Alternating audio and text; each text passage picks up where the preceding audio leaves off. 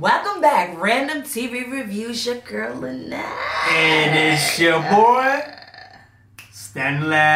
The cousins are back, like we ain't never left. Yeah. Listen, we decided to put our, our queen and our king shirts on today. Yeah. I'm gonna stand up short because you can't really see the bottom. Yeah. But Yeah. yeah, yeah. So I'm gonna, we just come to let you know what the real deal is. No, don't know about. it. But anyway. We're gonna get into Queen Sugar. It's gonna be a whole lot of stuff that we're gonna leave out because we want to focus in on a few things. And of course, y'all know by the end of this season, everything that happened in this episode, we're gonna tie together some kind of way because all roads always lead to Ford Motor Company. Yeah. So let's get into this episode and if you're new to the channel welcome this is how we just run it we do it easy peasy beautiful cover girl over here Oh, no up, what drama up, what no up? we- we don't have time we're too old And for that bullshit and we just cousins and friends, just talking about a show that we just watched. Yeah. That's all we do. so at the end of this if you like what you see just go ahead and hit that subscribe button it's free 99 at some point it will go up and if you like the video thumbs up or thumbs down it doesn't even matter at this point you already been counted All right, let's So- get into it, man. Pleasure, Pleasure is black. black. Okay, so we open up the episode where we have Nova. She's basically kind of giving an introduction or kind of shopping the book that she has written, right? The book is called Blessing and Blood. Mm-hmm. And you can tell that Nova, although she's confident in what she has written, she knows she don't bucked up. I hmm. mean, let's just call go ahead and call a spade a spade. Big time. She knows that whatever she put in this book is not going to be received well by whomever is going to offend. Okay, so at this point, we don't know who she's going to offend. We don't know if she's going to offend her father, the ancestors, the older generation, the, the current generation. We, we just don't know. But by the end of this, you'll know too. Okay? And so I'm sitting here, I'm looking at Nova, and I'm like, okay, she's really going through it. And as y'all know, Nova started out being one of my favorite characters. Mm-hmm. And then she started being really, really shady. But we still, you know how when you have that that crazy cousin in your life that you love them so much, but you always try to see a reason for the error of their ways. Yeah. And you always try to see past their bullshit. yeah, and you always See the to rationalize Yeah. the decisions that they made because they made this decision because this right here and Yeah. oh So you justify it in your mind and they still good, but okay. this time I just can't justify it This- in my mind. I This time can't. you just bucked up with me, no Yeah, yeah. You don't bucked up on the level that I'm about to put you over there with the crackhead. Uh-huh. Dog. Y'all know what I'm talking about. Okay. So a lot has happened since the last episode. Hollywood and Vi, of course, they got married, but they've been on their honeymoon. They're They going to Thailand. Thailand. She's come back and she's at the farmer's market and she's picking up all this exotic fruit and she wants to do fresh. this. And Hollywood is looking at her like, who who is this? Yeah. This is not. And she's like, I'm going to introduce this to the diner. He said, listen, all these people wanted some pies and a burger. Exactly. Stick with what you know. stick with what's going to make you sass money. She said, uh-uh. I'm always, I don't expand in my, my palate? And my palate is ready, you know. And so he's like, okay, bye. You know, do you? Yeah, go But she wants to go to where does she want to go to? Uh, Australia. Australia. Hollywood said, "Listen, said we just came back from Thailand. You know, you know how long that flight is. you handle Thailand, you can handle Australia." oh yeah, Hollywood." for sure, for So- sure.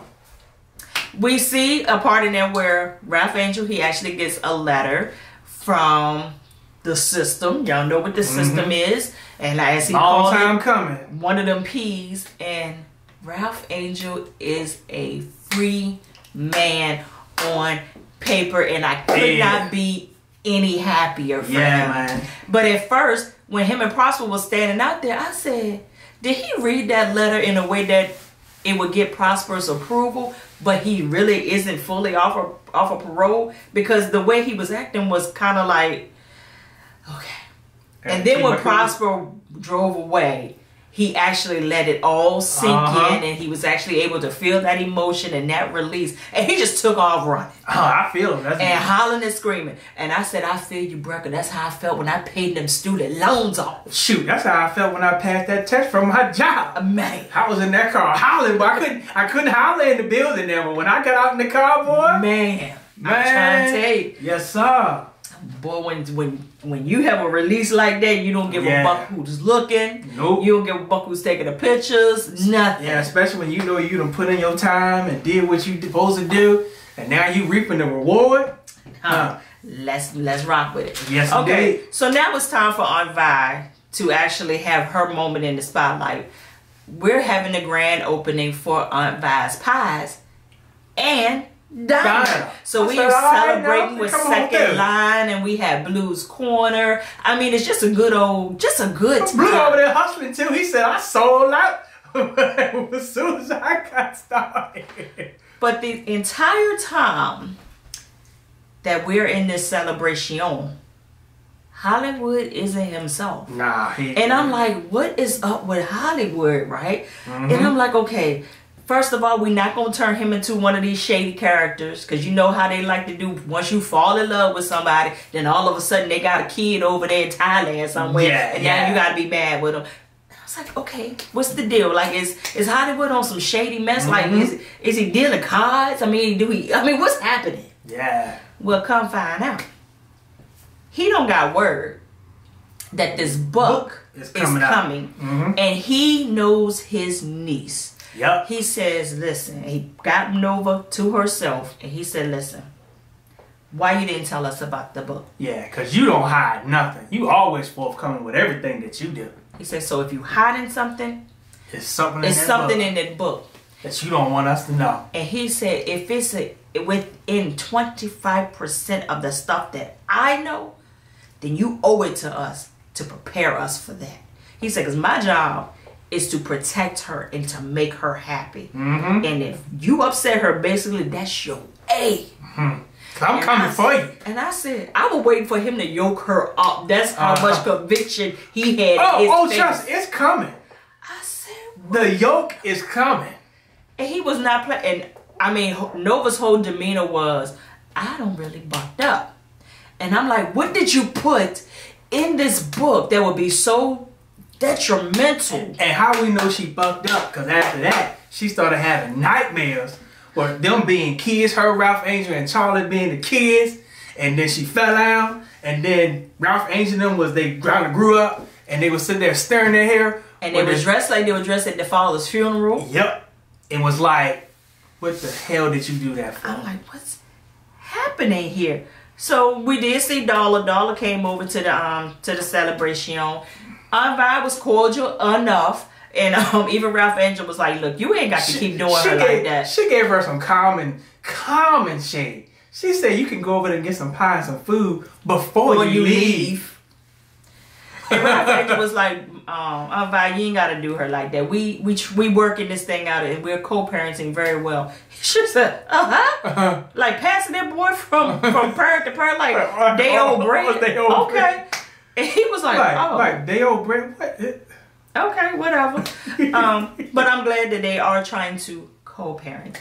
And then Darla wants to kind of have an adjustment to her weekend because she has a date. And then Ralph Angel had nerve look like he was in his feelings. Yeah, he, Let he her no, go. no, look like it. That that ninja was in his feelings. Let her go. But that's how we, that's how that's how the bros is though. Cause y'all can't stand to have Yeah. the visual of somebody else having them bit. No, Yep. not going there. Mhm. Um, Even though we ain't with him no more. Yeah. So later on the episode, I we I got my eye on this girl that Ralph Angel might have his eye on too. Y'all keep looking the Uh-huh. little, little little girl mama on the playground. I said that's a good look. I hope that I hope they write that in. Yeah. But anyway, so now we got to figure out what the hell is going on with um with Nova and what she gonna do. So all of a sudden, she's starting to try to go into damage control mode. Too late now. It's too late. Too now late. we're the fire already been started. yeah. Now we're in the middle of harvest. So of course, after the celebration, Charlie don't hit the ground running. She's at the mill. They, I mean, they have to work. They're doing everything to make sure that this harvest is successful. All this good stuff. So Nova shows up over there and she tries to have a conversation with Charlie. Asks Charlie to go out for lunch. Charlie was like, "I would love to, but right now this ain't the Uh, time. yeah, this is yeah. harvest. I ain't got time to take a piss." So right now, it ain't the time. She said, I have something to do tonight. And you know, Nova's like, well, I can come with you. I can, I can come. It's And like, she was like, it's not that big of a deal. Maybe you should have went. I said, you should have. You should have let her go. So she said, you know what, my book is about to be released. I'm about to go out on tour. So go ahead and I want you to have this. And I said, oh, Uh-huh. getting the bob. All right, so she left a copy with um Charlie. Now, of course, we knew that Charlie wasn't gonna have time to look at that. When she got home, she was dead dog tired. She didn't look at that book. Okay, so then she ended up going over there to Ralph Angels. Went over there. He was playing with Blue and whatnot and what have you, and she ended up leaving a copy over at the house over there. And she really was tearing up when she was looking at the house, the pictures on the wall, having all those memories flooding back and whatnot. She goes to the diner and she slips into the office of the diner and Drop she put a copy. copy on the desk. And like a thief in the night, she slid on out. And the next thing we know, we see, well, no, it's not the next thing we know. The next thing we know is, and we're going to skip ahead and we're going to go to the juicy part because this is all that matters to me right now. Yeah. Charlie is receiving a award for, what is it, like the groundbreaker award One of the first, year? first black woman. woman to open a uh, A sugar mill. Sugar mill. Yeah. Anyway, she got an award for it, right? So she's sitting up there and she's having her moment. This is a great moment for her. This is a mm-hmm. good look for women. I mean, it's Yeah. it's, it's just Powerful. everything. So she's up there giving her speech, and you know she's, you know, talking about women and how we need to stick together. Blah blah blah. And all of a sudden, I said, "Hold on, do we have a heckler?" yeah. Oh no! And I had a feeling that somebody, something. yeah, that somebody was getting ready to get up and say something. Because it never goes smoothly Yeah, for, for, the Charlie. show. For the show, For, period. for the show, but especially for Charlie. and Charlie did nothing but show up. She just show up, did her award. She had done a good thing, you know. She And, uh, did this to bail all the y'all out. And she's she still was- getting skidded Cause she was good. Yeah, she was fine. Even without Davis West, Yeah, she was good. So she came over here and made everything right. And she been going through hell ever since. ever since. So she's giving her speech. And this reporter jumps up and was like, So when you talk about women, are you all for all women's rights? And All Charlie was like, Yeah, of course. Yeah, of course. What do you, you know, I would like to continue with my speech. And she was like, you know, I had the pleasure of getting an advance copy of your sister, Nova Bordelon's book. I said, oh, skid. It's about to go down. And she says, in the book, she detailed about the scandal that Davis West is and how you paid the money and to hush up this woman. And, but I mean, just went down the line of the skit that sister to sister should have never Got been out. discussed. Never got out. Never. And my thing is, why? Why? Now, she had us last season thinking that she was gonna put some truth out there, but it wasn't.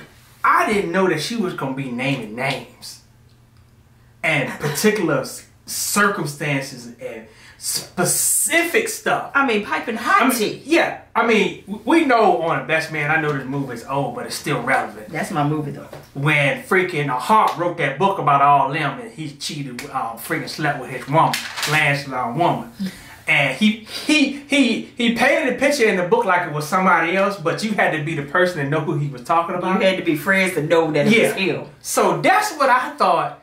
That you know, everybody's gonna be a different character. You might tell the truth, but they don't know that you're talking about your own family. Yeah, only your family know that you who you talking about. You don't do that to your yeah yeah. Family secrets are bad. Yeah, yeah. A majority of us has family secrets, but but darn if I'm gonna get on here or write a book or get on TV and tell my family. You know what? Matter of fact, when I do, y'all ain't gonna see me no more. No, they can kill us. Yeah, I'm dead, Yeah. Dead, dead. But here's my thing, and, and somebody please make me understand this.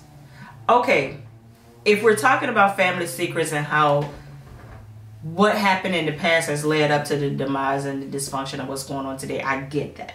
And I get that it continues from generation to generation. Yeah. So why are you talking about those that are still being affected by the decisions of those from the past. You're talking about a current circumstance Mm-hmm. right here and right now as if that is the reason for the writing of this book. Yeah, and your sister is still trying to be healed at the moment.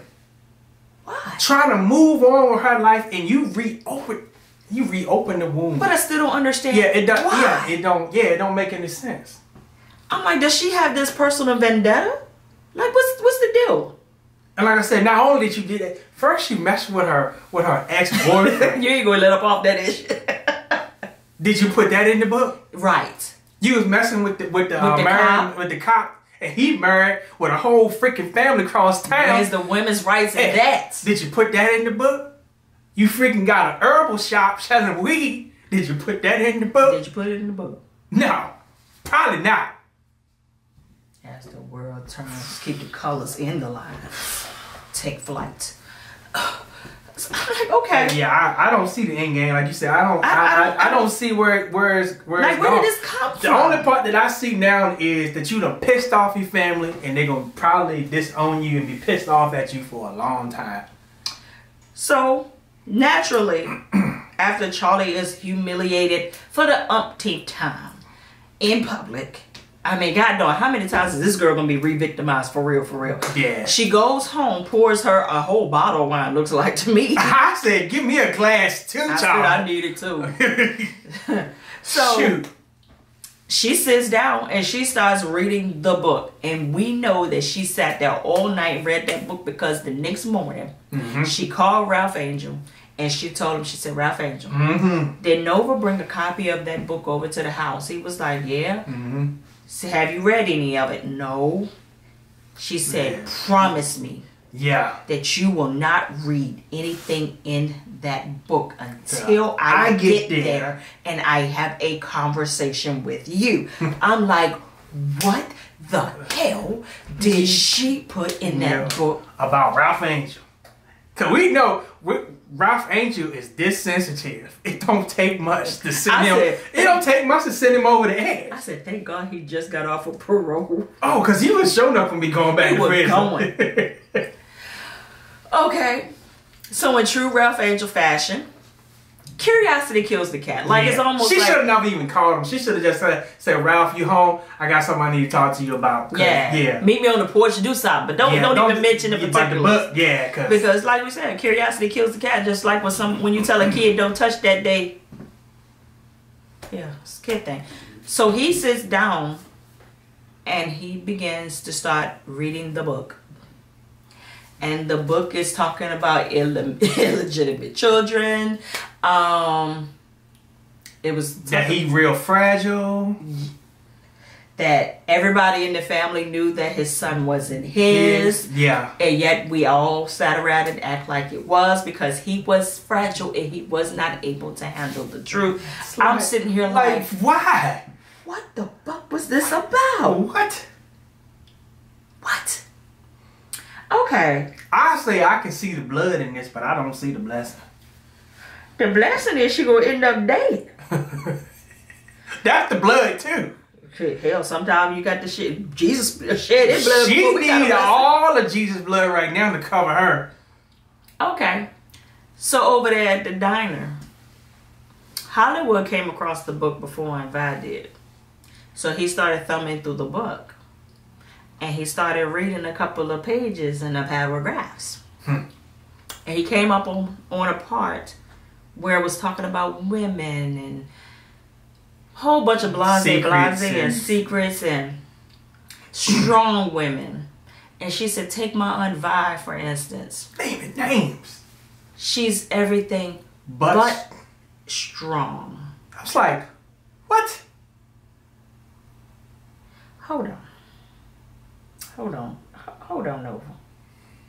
Now, I will try to rationalize this because sometimes I have to check myself because I'm one of those people that I have to look at things from the perspective and, and kind of put it in the era of which things had happened. And like a lot of times, like I, I look at like my grandmother and people like that that were in horrible, horrible situations and horrible um, relationships and things like that, and they stayed and they made the best out of it because really that was all they knew. They didn't know anything different. They really didn't have the outlets that we have now, the protection that we have now. You know, options. So sometimes when I look at them and I'll be like, oh, I would never, no, no, no. Mm-hmm. In some instances, I'm like, yeah, that's not what I consider a strong woman. But they were strong. They were strong with what they had to deal with. They were strong with the options and the mm-hmm. opportunity that they had. They mm-hmm. did the best that they could Yeah. with the resources that, That they, they had. had, exactly. Now, if you put that scenario in today's time, and you had someone like me, my age, dealing with something like that, then I will be everything but strong. Yeah. Cause actually they were stronger Yeah, than us. I mean, we are weaker than they are. Cause Yeah. we ain't, we ain't dealing with nowhere near the stuff that they dealt with, you know, to get to where they are. yeah. And so by her surviving all that skit, getting Strong. getting sick, being there for Blue while Ralph Angel was locked up, being, there, for you. Come on. Yeah. While you going through all your bullshit, supporting you, and you gonna write in the book that she ain't strong. Oh. And here's the thing. That you didn't even tell her to her face. Why you couldn't tell her to her face that on vibe, you appear to be strong, but I think you are weak. And You explain what that meant. Yeah. Because Aunt Vi's and my my uh, Aunt Vi's strong and my strong could be totally different, but they're still strong. Yeah. Still strong. And, and I just don't get it. I, I mean, I, I don't get what this angle is. And even your own father, Nova Bordelon, got over on his sister. He took her house from her Yep. in order to save her life, to get her from an abusive relationship. Mm-hmm. He took her house. Yep. Uh, so yeah. No. Maybe maybe next episode is gonna be a flip. Maybe the, I I don't know, but I don't see it right now. Okay, so And then, for and for right now, I'm just pissed off, Me and I, too. and I want them to take Noah and throw her overboard. And and and I don't know. She just needs to go. and so we're gonna close with this. At the end of the episode, well, the end of the episode for me, she is over at Daddy Bordelon's grave. Like for what? And she's crying her heart out and she's telling him you know i know that i've probably upset you today and i know that the, basically the heavens are opening and closing at the same time and i've made a whole lot of people upset but people don't understand my work and i hope that my people will understand my work I said I What? wish I wish your daddy could come through the grave and smack the skid out you right now. Just the hell you write that book for? i don't have a problem with the book No, I- make it make sense to me Yeah. And don't be putting a whole bunch of people under the bus that aren't ready to be trampled over like that. Or not talking to them first. That, that's that. Just Period. talk- make it plain to them. I'm gonna put you in my book, and this is why I'm gonna tell it. Are you good with it? And this is how I'm gonna flip these pancakes so they're gonna be good to the public. So they're gonna eat your story, and they're gonna be happy, and they're gonna be healed. And you gonna be good afterwards too. Exactly, because you're gonna be free because your stuff is out there. And it, listen, Yeah, but you hiding it so you know you was wrong. But you hiding here's the know thing. wrong. and I hope it happens the way it needs to happen. Charlie gets on the phone. She makes a phone call. Mm-hmm. Charlie was like, lawyer. I need you to put a cease and desist on my sister Nova Bordelon's book Dang, immediately. dang.